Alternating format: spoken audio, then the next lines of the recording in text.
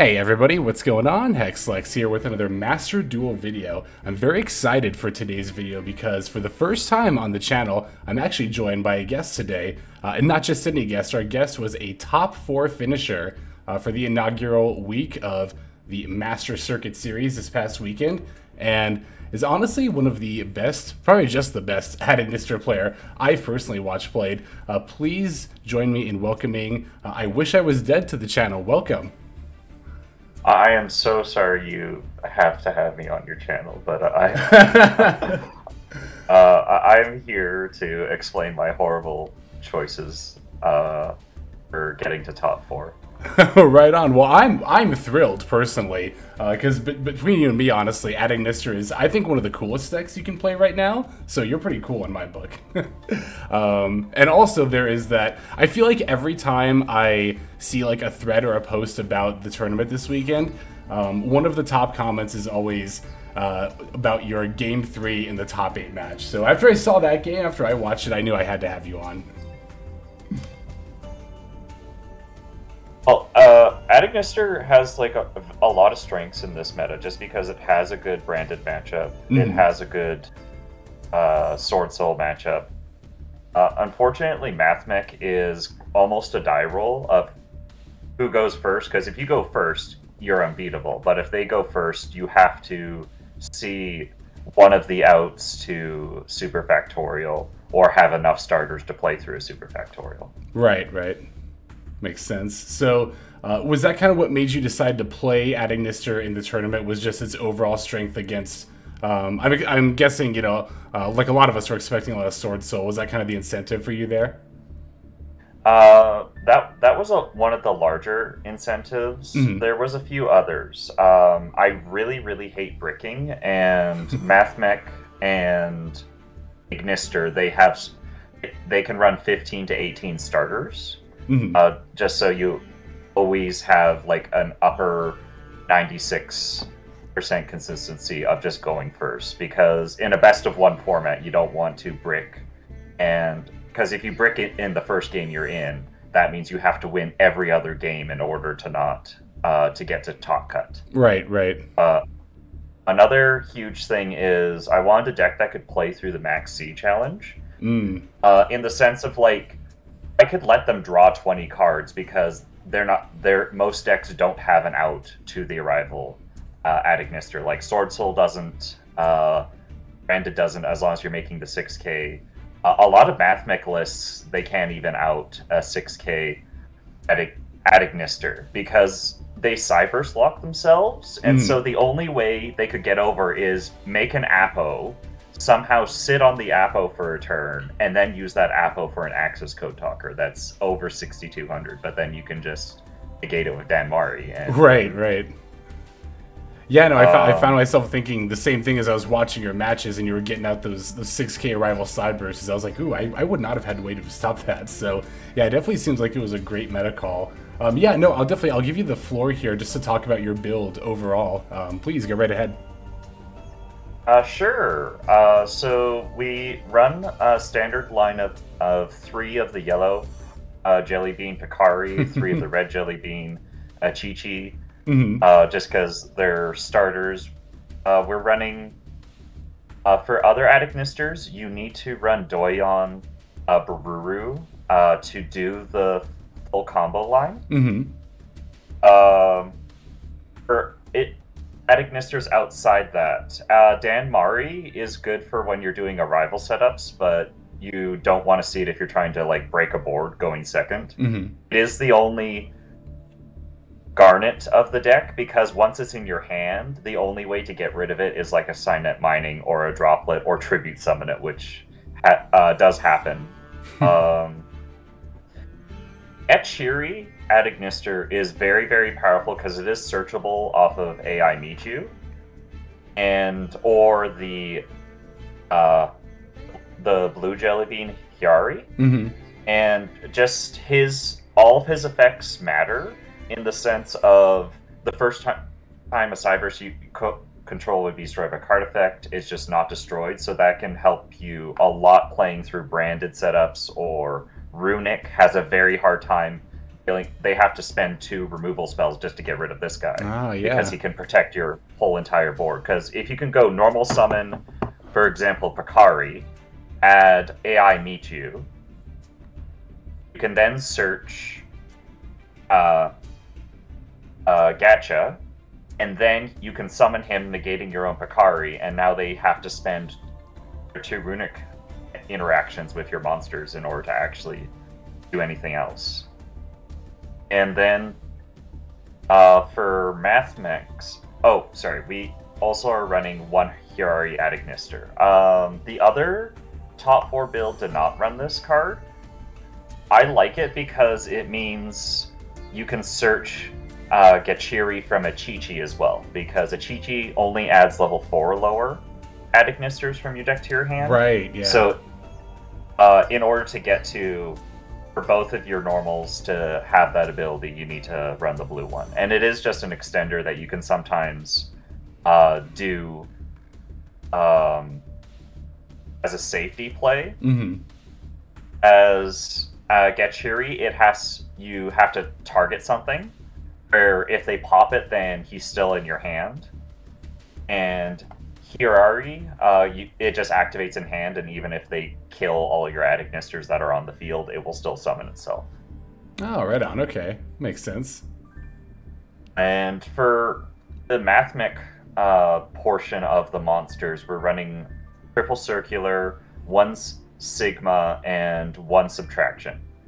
Uh, you need to uh, run subtraction for some lines. Is if you only open circular, it helps. It can actually lead to your full arrival board, but you need a subtraction as a search target uh, just so you don't use your normal summon.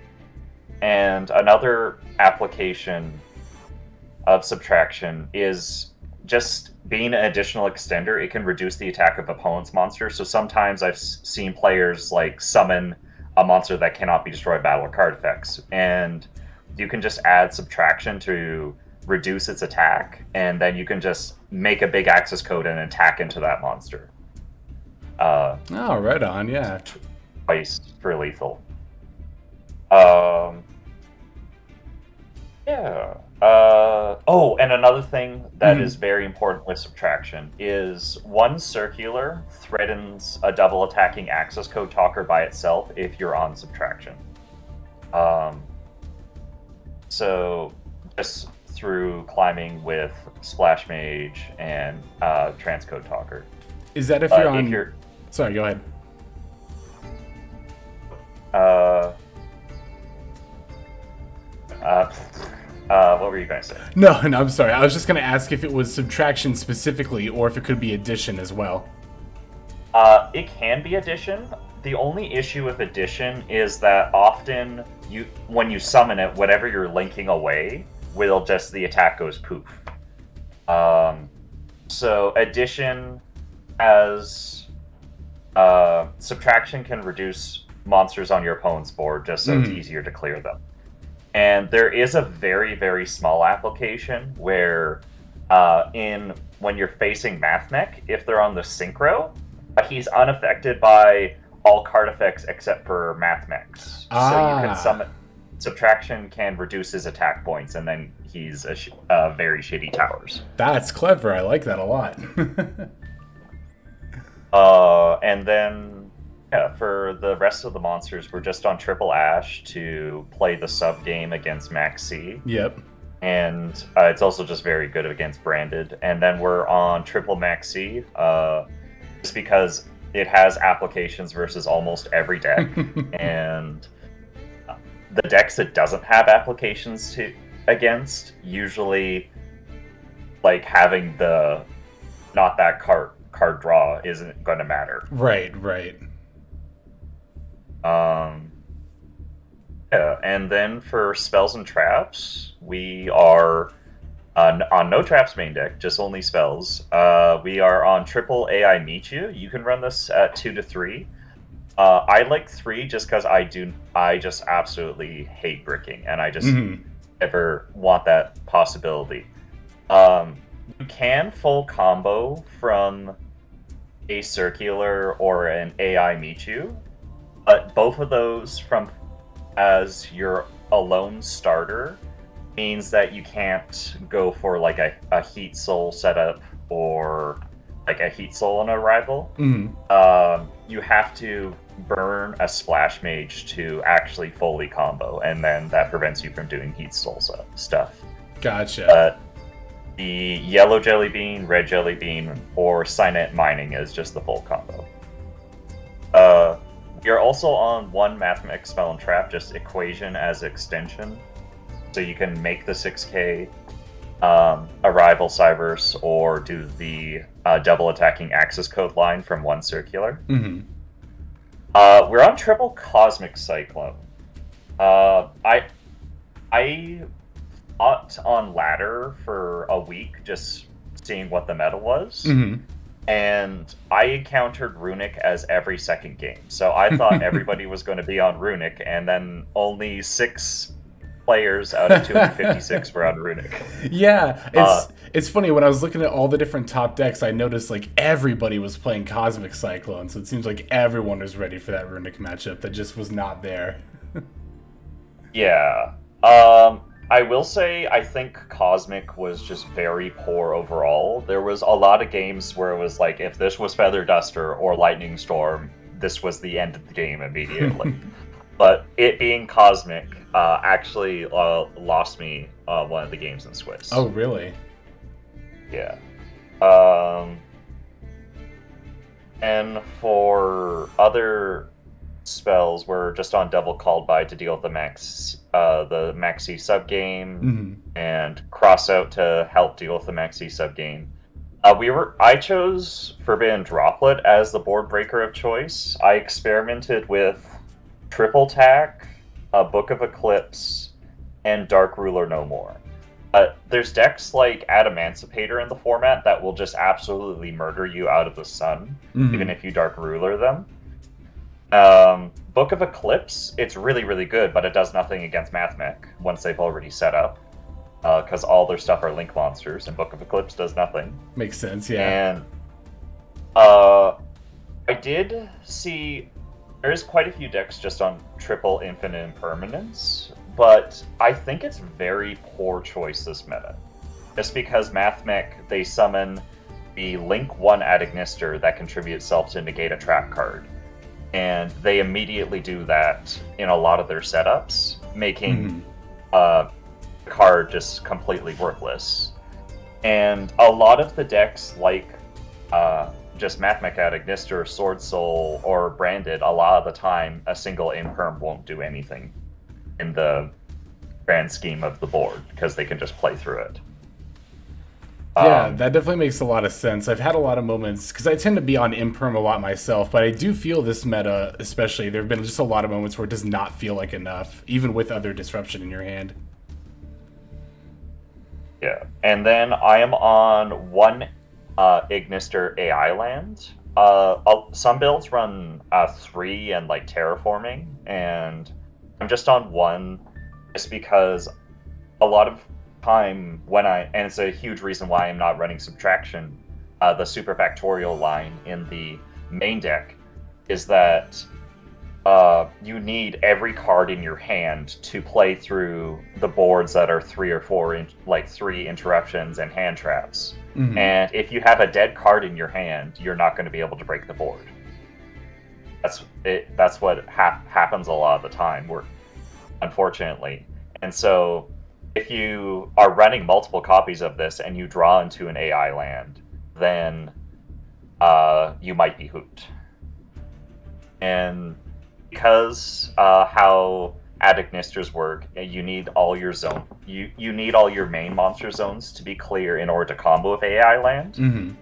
You can very often just start with the circular line, and they th- everybody tries to negate the circular line because they don't want a super factorial to hit the board even if you're not running it Right. and and it baits all the interaction and then you can start and you can just summon your one of your jelly beans to search uh Ignister AI land to do your main combo line.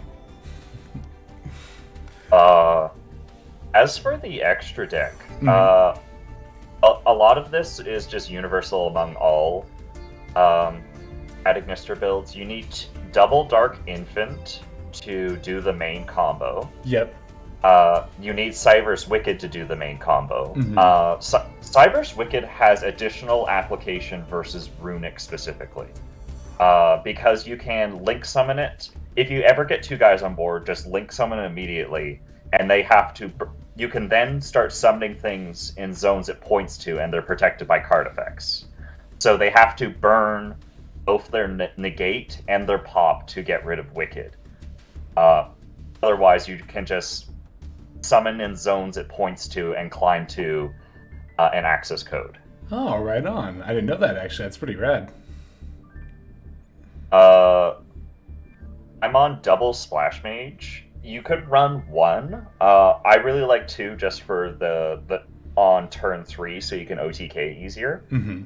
And uh, splash mage often is a target a lot of people like to hit because a lot of people are in Ghost Belle and Haunted Mansion, and then they see the splash mage and they uh, fire it off. Yep. Uh, you run Update Jammer just so you can OTK. Uh, Dark Templar, @Ignister, uh, you need for the main combo, and uh, it's it has actually two effects, and you need to use its second effect if when this card destroys an opponent's monster by battle, you can s- revive a Cyberse Mm-hmm. you actually um i unfortunately found this out later but you need to use that second effect to otk through if branded sets up two revives in the grave like masquerade and aluber you need to use his second effect to actually otk through that Oh, I see.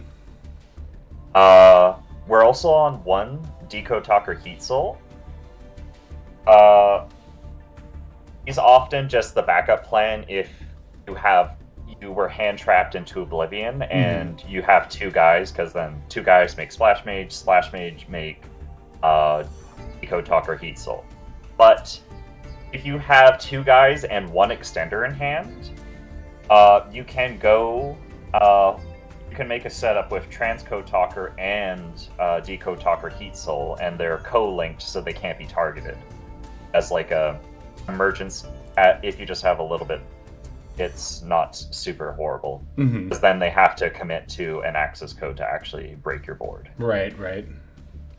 um, and then yeah we're on one access code talker you can it has come up some scenarios where you could run a second access code talker Mhm. just because uh, versus stall decks like runic or control decks they will you can sometimes get your access code and then the second one will come up to clean up the board but it's very rare.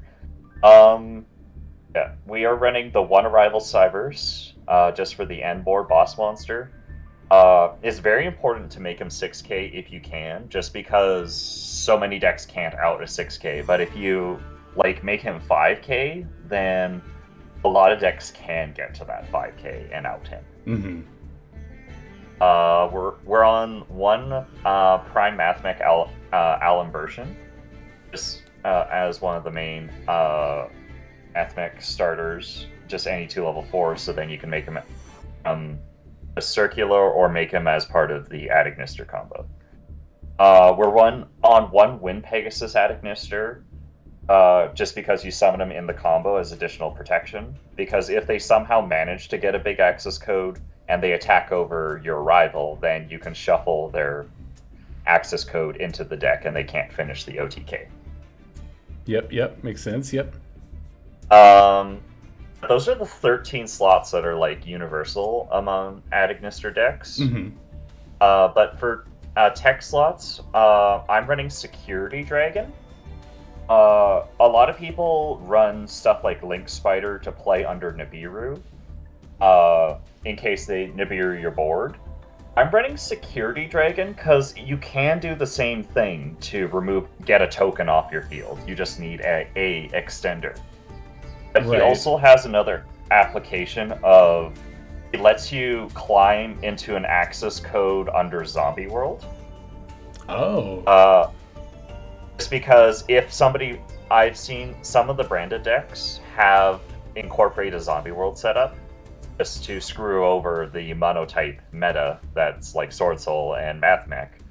Then you can actually climb if you have can if you have AI land and one of the jelly beans, you can climb into an access code and then pop itself to pop one of your well, you don't even have to pop itself, but pop uh pop, pop it so you can actually do your plays. Right on, yeah, and I did notice that the uh, branded decks that reached the finals, one of them was running that Zombie World package in the side deck, so it seemed like a very good call there. Yeah, and then yeah, his uh, bounce effect does come up, but um, there is for this slot you can also just run the big firewall, OG firewall dragon, because Mm-hmm. it does have the bounce effect as well, and it can bounce uh, stuff in the graveyard if you need to OTK through Branded. Uh, Gotcha. but but both both of them are good, but in order to make a firewall efficiently, can make it as part of your uh, red jelly bean or yellow jelly bean as your starter. Mm-hmm. Uh, but it, it's very vulnerable to interruption because then it's if they kaiju your arrival that would be pointing to the firewall. It's like, oh, now firewall. This is doing nothing. Oh, yeah, yeah. Um, yeah, and then the other uh, tech slot, I'm running Light Dragon @Ignister. I wasn't running it for a, a, a period of time, mm-hmm. and after I added it in and tried to actively think about it, it just comes up so often being able to eight negates and uh, interact with the opponent's board and give your stuff protection. And it's also another card very good in the runic matchup because it's another card they would have to burn their their negate effect and their pop to get rid of it. Ah, I see, yep. Uh, so just being able to versus runic use circular to make light dragon @Ignister. Now they're now they're in a very bad situation, and if you can if you have another starter like Pikari or a Chi Chi, you can Mhm. then get uh, Gat uh, into rotation. So now they can't really get over the board.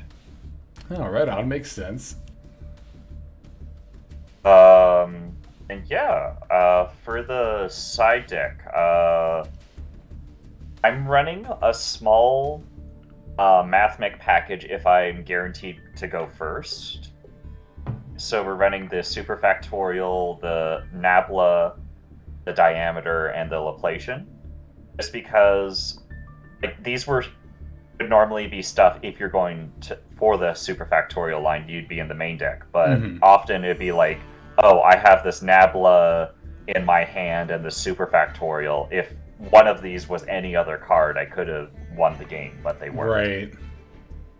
Right. Um, but yeah, for the end setup, you can use Albert. You you just dump Nabla with a circular circular, Mm-hmm. and then when you ma- uh, you can use Alembertian to revive Nabla, and just Nabla attributes himself to get the diameter from Dick. So then you have the the the multiple interruption superfactorial. Uh, for other stuff, I'm running Double Red Reboot. Uh, this card is extremely powerful this meta just because it's if you're facing Runic that you shut off their like there can only be one, or if you're fighting like a trap deck trap deck like Eldlich, you Mhm. just activate it once and then you win the game yep.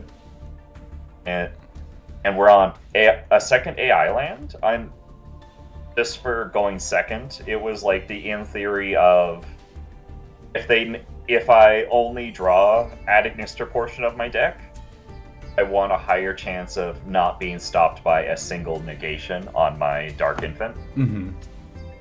Uh, we were on Nib mostly as a crossout target um, that I could side in going first, just in the off chance. Like if I know my opponent is on Nibiru, like a man at, at Emancipator. Mm-hmm.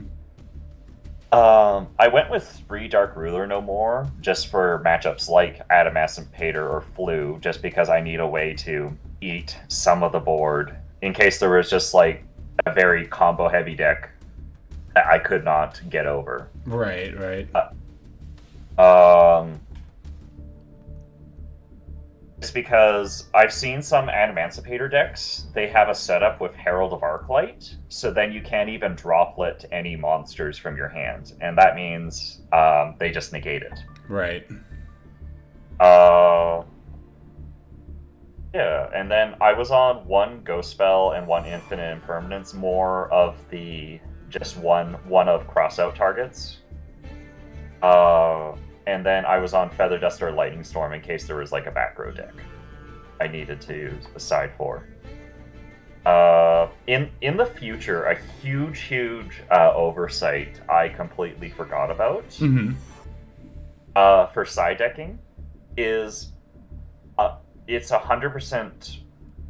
You can there's a searchable floodgate in @Ignister in AIQ, which if you control an @Ignister, each player can only link summon once per turn. Ah, And I then- see.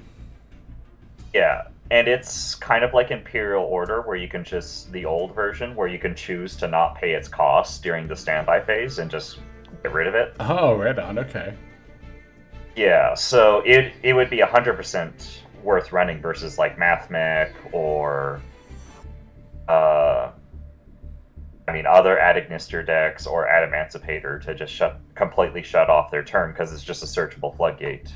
Because like MathMech can search out floodgates, but they have to commit to a four material Alembertian where Mm-hmm. you know your single normal summon can search out the floodgate. Yeah, it definitely seems easier that way. Uh, uh, yeah, that is it from the main and side deck. Right on, right on. So this was the build you took to the tournament, but I understand that you also had an updated build, one that you uh, kind of came up with after the fact. Um, so I can actually switch right over to that here, and we can take a look at that. It's gonna be on Dueling Book here. So um, yeah, once again, I'll give you the floor if you want to talk about some of the the differences and why you think this is the uh, this would be an improved build. Yeah, currently this is what I'm trying to use in ladder.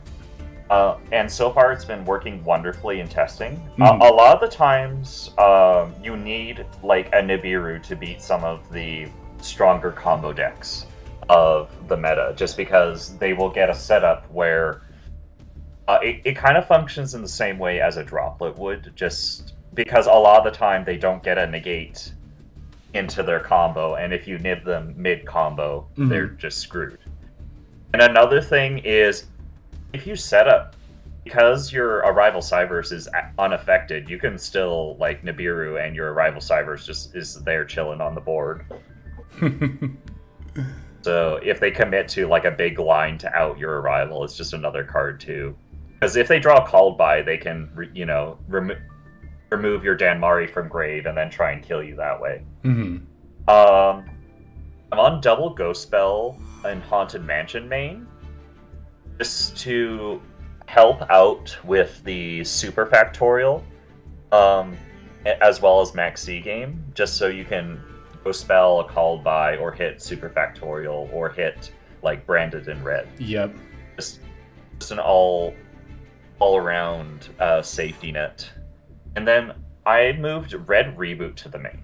hmm Uh, just in just a best of one format, you need the I win button versus the floodgate decks, and where if you're running a single cosmic, it's sometimes they have double floodgates, and it's like, well, I guess I lose. Or uh, another thing that just comes up is the if you're running like a feather duster versus runic, it won't. Um, they just they just summon their level two, and feather duster doesn't accomplish anything. Where Right. as yeah, whereas red reboot is just a hard a hard answer for any floodgates because you can as long as you draw your two starters, you can usually OTK a runic player and just play through their all their interaction. Uh, but if they flip up, but there can only be one. It's like, well, okay, I I am not winning this game. Fair enough. So definitely liking that more than Cosmic Cyclone for sure. Then. Yeah. And the other change I'm currently testing with, I'm I'm not sure if it's fully uh, if it's good if it's fully good or not. I think it is good, but is small world hmm over Cynet mining. Uh, just because Small World, it doesn't banish on activation. So if they ash your Cynet mining, you just went neg two. But if they ash your Small World, then you're still even on advantage. And Small World can search some of the hand traps. It is just a little bit more. You can, unfortunately, it's a bit harder to search Nibiru because Akari it has the same st- defense stat as Nibiru, so you have to Ah. actually banish a circular in order to get a Nibiru into rotation. But it is when you're ju- just doing a Heat Soul setup, it is awesome to like draw into a small world and then be like, aha, now you can search Max C because Achichi is level two. That's always fun. Yeah, right Uh, yeah, or uh, Gatchiri is zero attack, so any Cyberse banish Gatchiri, you can then add your Ash or your Ghost Spell. In one round in Swiss, Mhm. I got comp- I got owned by a Mathmech player. They were going first. I was like, okay, I have Maxi. I'll just respond to Circular. And they activate Small World. It's like, okay, whatever. Mhm. And then they uh, added Ash, and uh, I lost that game. Uh, yeah, I was actually going to ask. I was a bit curious about how your Swiss rounds went. Um, if you don't mind getting into those a bit, I know you, you mentioned earlier that you did end up losing a game because of a Cosmic Cyclone. Was it specifically because of the paying a thousand life points? no, uh, I, I never went to time. I was very careful to uh, play around it. I hmm I just absolutely despise hating in time. I think it was a. I think there was either a Mathmech or an @Ignister player at in the first three rounds that MBT had on stream, and uh, they had lost in time, but just because they took too much damage with Heat Soul. And, like they were in a they were in a winning board state, but it was like, oh no, you Yeah. shouldn't have Heat Sold that many times. You were gonna win. yeah, that'd do it. Uh, but yeah, for the run, uh, round one was versus Numeron.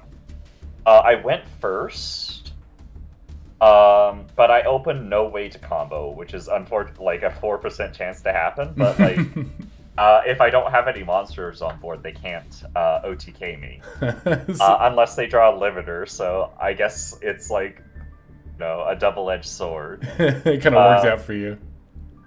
Yeah, and then I made a 80. You can.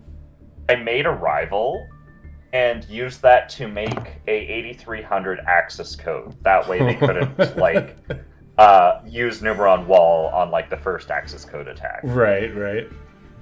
But Numeron is a very good matchup for you because um, if you make the big guy, uh, it is very hard for them to out. And if you have like a smaller dude, they're trying to OTK you through. A Mhm. Chi-Chi's graveyard effect just pops your cybers, so they can't actually. It it triggers at the start of the damage step, so all the Numerons cannot get their attack increase. Yeah, that's actually. So- I think the one time I've personally used that Chi Chi's effect was in that exact scenario against Numeron. So yeah, I can attest to that as well. Yeah, so it it's like in order for Numeron to kill you, they have to have like kaiju plus a limiter removal. Uh and I think it's like two limiter removals or like cuz it is just like such a difficult time to OTK with like stuff like Wind Pegasus if you have that. Right. Yeah. Um, then round two was versus Dragon Link. Uh, I went second. Uh, I had an Ash for their Paw Desires. They did triple tack me, Mm-hmm. uh, but I still had two starters, and I was just able to OTK through the standard Dragon Link board. Nice. Right on. Uh, then round three was versus Mathmech. I- I won the die roll, went first. They did out my arrival, but I was just able to OTK them and make uh, unaffected access code. So even if they had imperm, uh, a huge thing with like even if they ma- for Mathmech is they can out an arrival, but even if they do, hmm they waste so much resources and then the wind pegasus clears their board Right. uh round four i was facing scareclaw and Oh, they wow. went first but um, they just couldn't put up a very big board through an ash blossom Mm. and just um, just OTK'd them. And round five, I uh, went versus branded and just went first, and they just can't do a thing when when you do the full combo going first, just because 6K access code is just I mean not access code, but arrival is just in, inevitable. They just can't event. They'll eventually die to it. Like they could get a starving venom out, but that's really weak to interaction. Right, right. Uh, then round six, I lost versus Sword Soul. Uh, I was going second, Mhm. and I drew. I think I drew Cynet Mining and three cards I don't want to see in my hand, like Mm. Danmari, Ichiri, and another search target. And I think. Oh yeah, I think I had the field spell, and it was. Uh, it was just I I Cynet Mining and they ashed it, and I was like, okay, that's the end. yep. Um, and then round seven, I just won versus Sword Soul. Uh, they were going second, and they had Max C, but I actually had my starters this time and just OTK'd them through Max C nice. because you just make your unaffected guy, and then it's like, okay, even if you have Imperm, no. Uh, Right. the only thing they can do is draw their one of Nibiru because a lot of the time like even if they draw into like ash ghost spell and another hand trap a lot of the time like effect veiler you can still if you have the double starter you can play through that and still otk them. Hmm uh, then round eight i lost versus mathmech and that's when they did the small world play to Ah. add ash Yeah. and screw over a Max C, and then they set tr- three back row, and it was I had Cosmic in hand, and um, I had to hit the Super Factorial, or they're called by, in order to play through their board, because then they have to fire the Super Factorial early, and I Mhm. can actually play through it, and I hit their Cosmic. Oh no. Uh, so, yeah, like had Cosmic just been Feather Duster, Lightning Storm, or Red Reboot, like yeah, the game the game was over. Oh, one thing I did not talk about Red Reboot. Sorry for a side tangent. No, yeah, go right ahead. Uh, Red Reboot is especially dumb in Ad- @Ignister because if you Red Reboot an Imperm, for instance, and they Mhm. set two back row, you're still making Wind Pegasus as part of your main combo in every combo. Oh. So Wind Pegasus will pop the cards they set, so it doesn't even it has no downside aside from the life points. That's so gross. It's just giving them false hope at that point. it's pretty good. Yeah. And then for top cut, uh, round one was versus Sub Terror. Um, they were playing like a floodgate variant. So yeah, they I didn't saw really that. Have, they didn't have any hand traps, and I Hmm. won the die roll, so just Ah. went first, nothing they could do. And then game two, it was Drew Red reboot, nothing they could do. Uh, top eight was versus uh, Adamancipator, and this is one of the. If there's like two decks in the meta, I'd have to pick out that are like really good versus mine. It'd be Adamancipator and Blue. Blue, just because they run the main deck Book of Moons, and as, soon, as soon as your stuff get face down, your AI land does nothing, and it's like, oh no. yeah.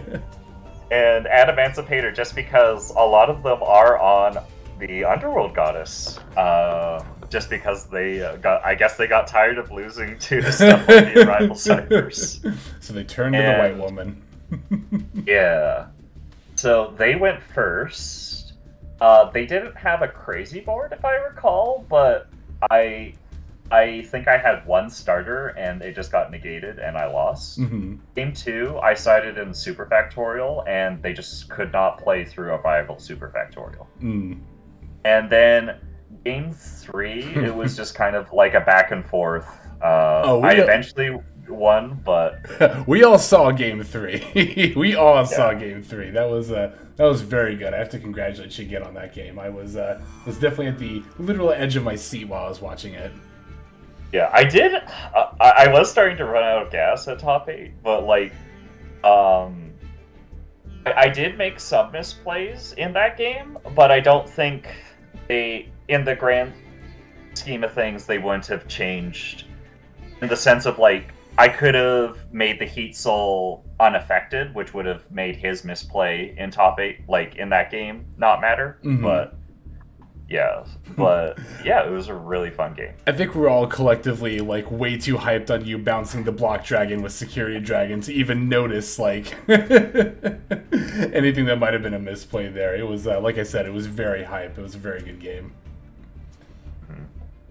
Yeah, and then in top four, I I lost to uh, the branded. Uh, he's on main deck kaiju's, which is a very very Yeah. good medical. yeah, that was the one Uh, ended up winning, if I recall correctly. yes. Uh, and it's just so funny that like you know you can run the light and dark kaiju's and still fusion summon with them. Uh, yeah, and so like if I was on Super Factorial, like, or I might have had a better matchup versus Kaiju's, but Mhm. then you're running the risk of bricks. But I- I forget. Yeah, game one I won. I forget how it went. Game two, uh, he set up ma- uh, Masquerade Dragon, which is very powerful Mhm. versus @Ignister Yeah. because you can't can't just go through your whole combo Dark Templar line and then pop it. You have to pop it be- before you do your full combo, or else Right. you will you will die.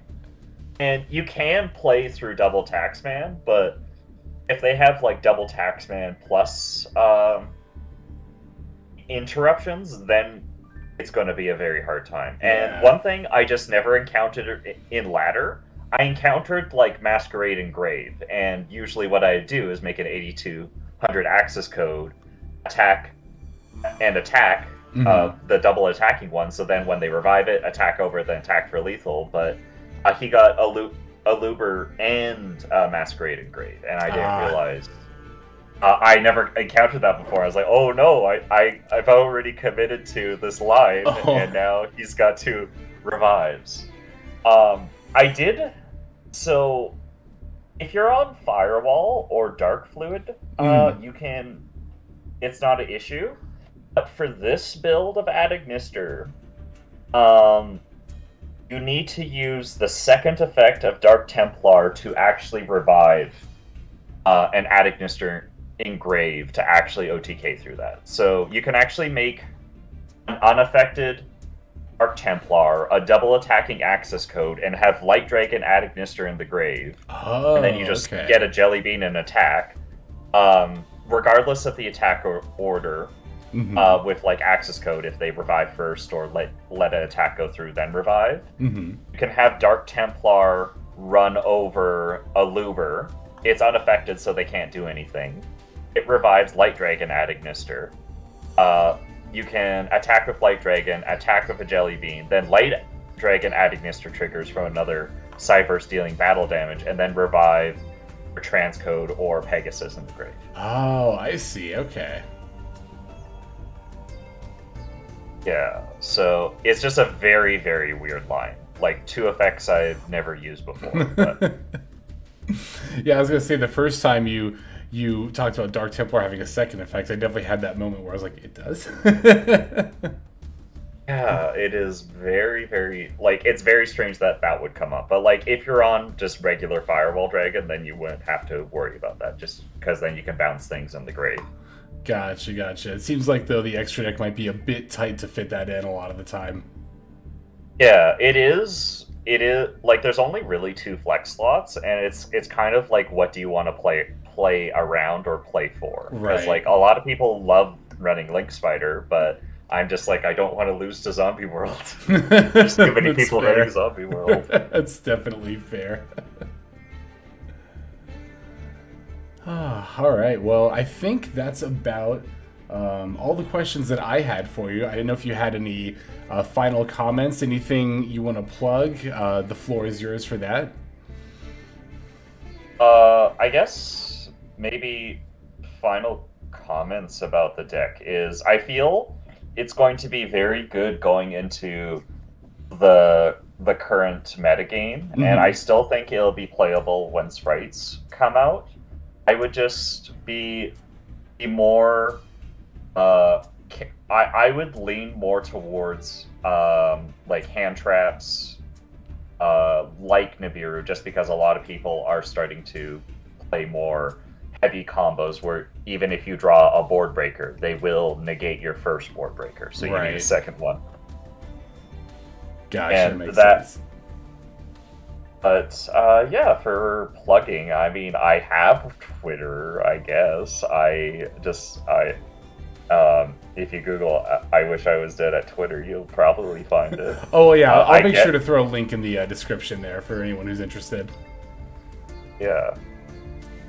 Uh, I guess I made one video on my YouTube channel like what two years ago. if you want me to, if you want me to link your channel, I'm more than happy to. Anything anything you want me to throw in that description, I will.